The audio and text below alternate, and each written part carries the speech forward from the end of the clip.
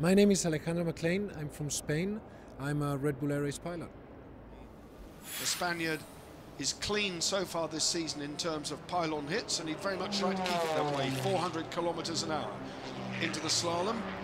So far, so good. Oof, almost high on that left knife edge, but he, he got it wrong. Incorrect knife on gate three. I thought uh, it looked as though he did a right knife instead of a left knife. So three seconds added on.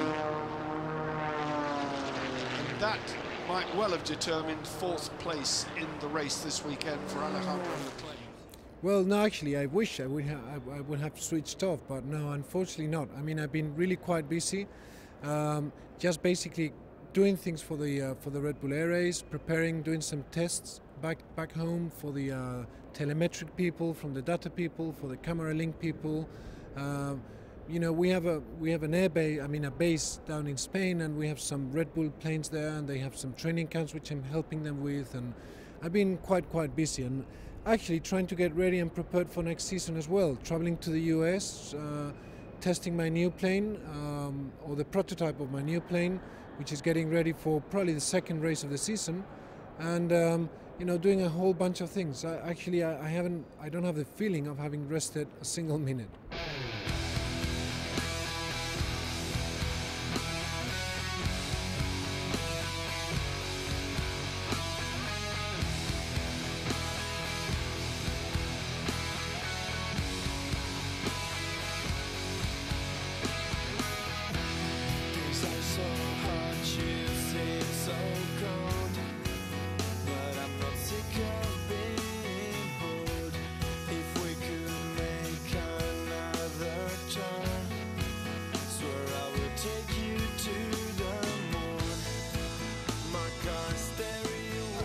I mean, to be completely realistic, I mean, I would like to improve myself towards last year.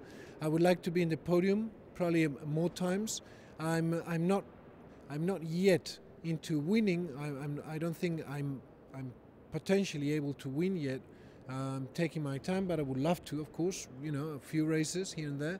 But uh, my realistic wish would be just to be on the, probably on the, I mean, wish as, as, as, as such on the first three, somewhere there, and uh, realistically speaking, maybe on the first five.